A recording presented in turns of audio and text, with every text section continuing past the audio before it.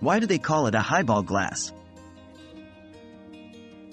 The term highball glass originates from the late 19th to early 20th century, specifically from the American railroad system.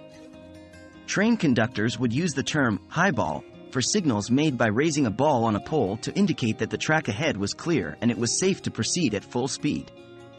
This term was metaphorically transferred to the drinks world, representing a way to quickly serve and consume mixed drinks, typically consisting of a spirit and a larger proportion of a non-alcoholic mixer, in a tall, straight-sided glass.